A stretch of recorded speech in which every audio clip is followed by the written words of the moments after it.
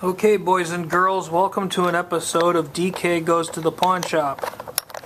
Actually, there's probably a lot of episodes of DK Goes to the Pawn Shop, but anyway, I came back from the pawn shop with this thing. It's a Peavey, obviously. Uh, it's a keyboard amp, KB60. And I know absolutely nothing about it, and I have no idea if it works. All I know it was is on the stack of things that were priced to make them get out the door immediately. So that's great. I'm all about that.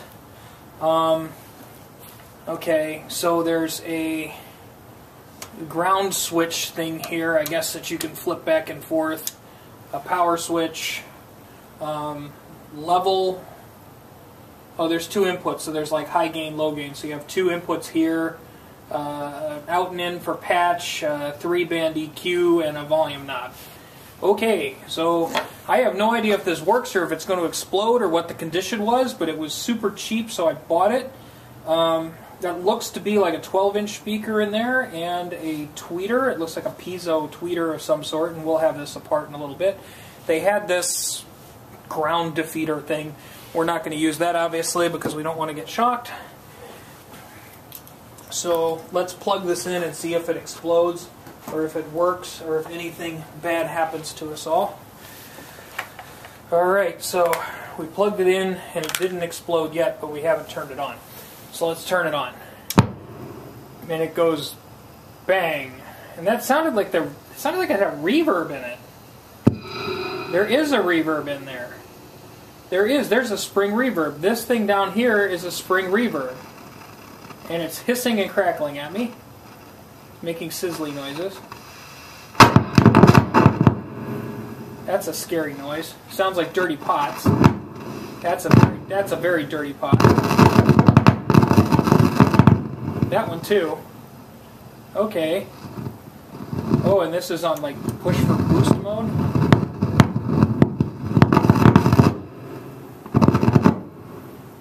Okay, so I think this is actually just a lot of lot. I think there's a lot of grit and nasty stuff in the pots. Let's see if it works. Let's go put a signal into it. Let's see. I have a guitar over here. Let's put a guitar into it. That's good. Hopefully it won't shock the crap out of us, but we will be nice to it and put our Peavey guitar into our Peavey keyboard amp. And we'll put it into high gain. Oh yeah, that made noise. Let's try the other input over here. That made noise too. And that makes noise. That makes noise. And the boost switch makes a lot more noise. And the reverb works. So Okay, so it works. Uh, great, uh, that's cool. I had no idea if it did or not. Now we both know it works, but there's a lot of rattle and rumble, and it seems to follow particularly this bass pot down here. This sounds dreadful. If we do this, it might actually just shut up.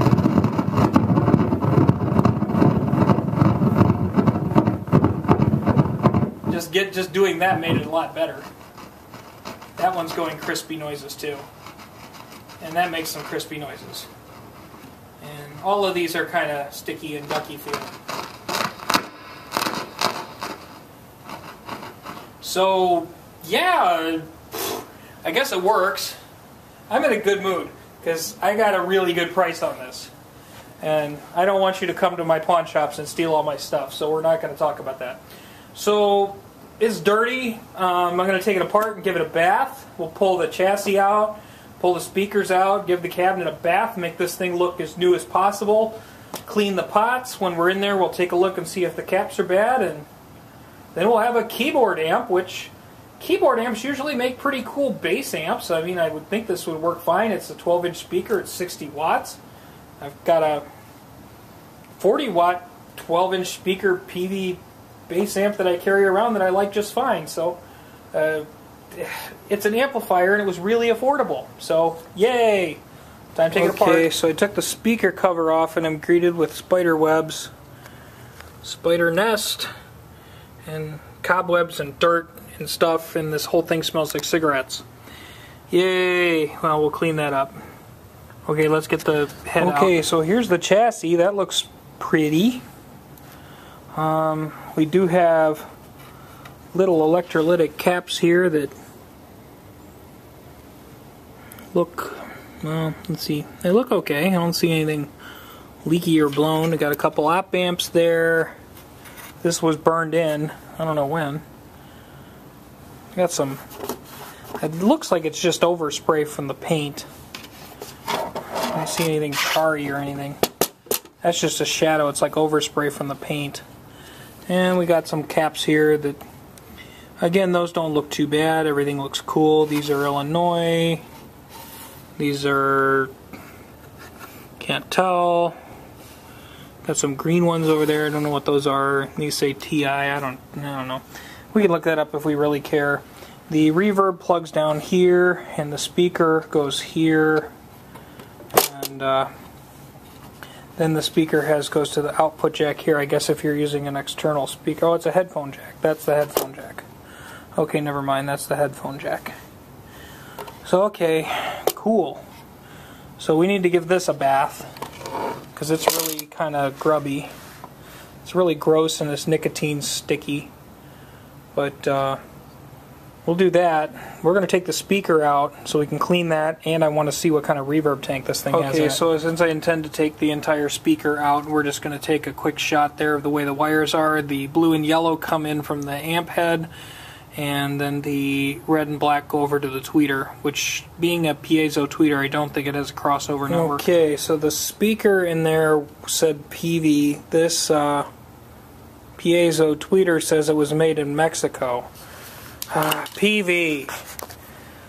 I will build a wall, and it's going to be huge. Mexico. Good grief.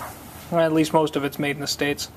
And this speaker says model number 54, 8 ohm impedance, and has a Peavey thing on it. I don't see USA on this speaker. It says the amp itself was handcrafted in USA, so I'm guessing that's where it was assembled. Although I'll bet some of those capacitors might have come from Asia. You think? I don't know. Probably. Well, who cares? Alright, let's go for the reverb. It's actually mounted on the side, so if I look down there on the bottom, it's not there. I have to turn a corner. And I, it's upside down in six, so we'll pull it out of there and see what it is. Okay, so it didn't really want to come out. I think this yellow stuff that was on the RCA connectors it might just be a byproduct of manufacturing, but it might have been something to help keep it from falling off being in a rattly speaker cabinet. Input, output, two springs, suspended chassis. This doesn't look like an Accutronics. Usually Accutronics writes Accutronics on everything like 50 places. And then we have a number 1292294. That's upside down, but I can read upside down. It's a good part of being dyslexic.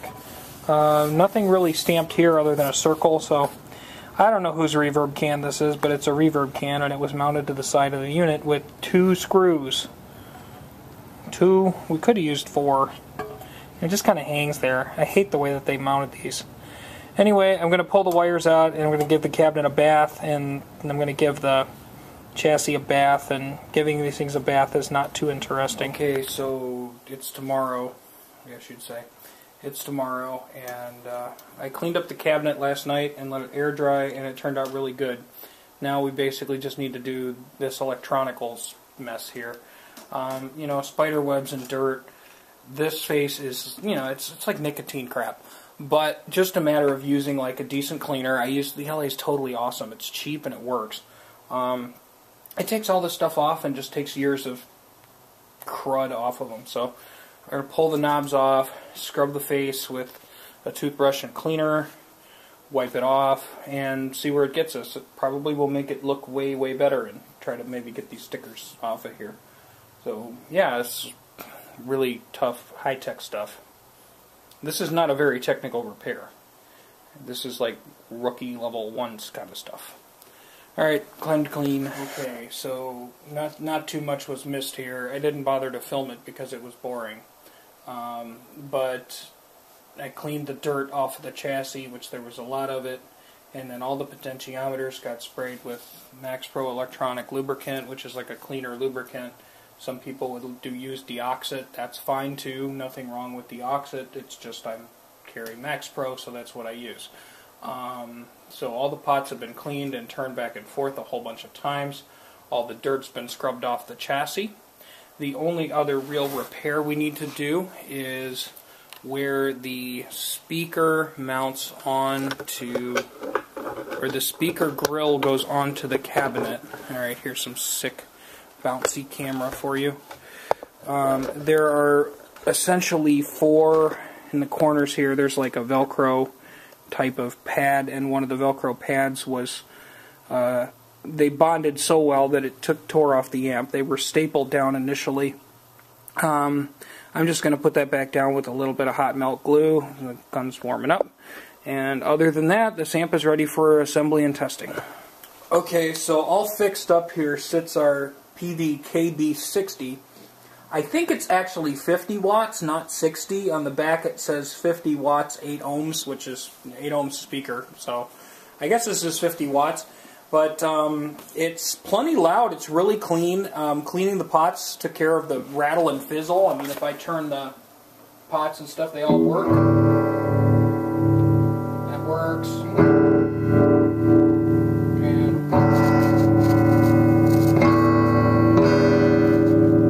That one needs a little bit more rotation before it totally shuts up, but it moves smoothly and it doesn't make any racket when I move it, or after it moves.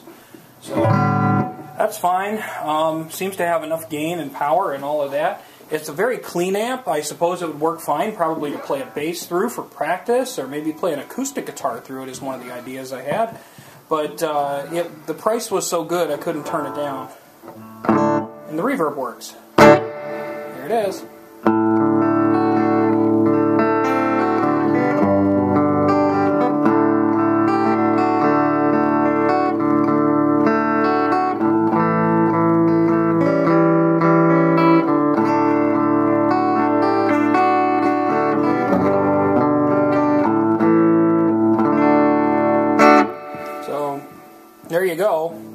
Works fine. Um, it's plenty loud. I've got it turned up to what? Uh, not even a maybe a third. That's a third on the normal gain on one of the two channels there without the booster switch plugged in. So this has probably got you know three times the volume in there. Um, it sounds really nice. It's you know a nice clean sound. I I could use this for probably an acoustic guitar or maybe a bass. Uh, but considering the price at a complete blowout clearance sale um, at the pawn shop, uh, it needed a bath because it was very uh, smoked around. But uh, taking the electronics out of the cabinet, taking the cabinet up to the big sink, scrubbing it, using you know all-purpose cleaner, scrubbing it up real good, and uh, rinsing it down. And then uh, cleaning the spiders out of the electronics, cleaning the pots, and putting it back together. So with a bath and a little bit of glue on that one speaker uh, grill holder thing, um, you know, we, we spent probably less than three dollars fixing this if I, you know, consider my cleaner and my rags and all of that. So for getting an amp for absolute chump change, this is a beautiful find.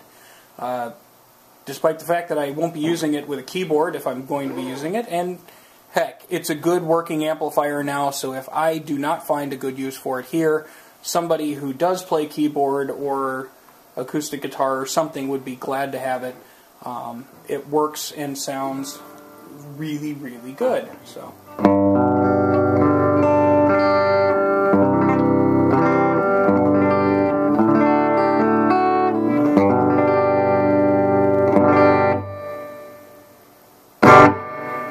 With a really pretty reverb.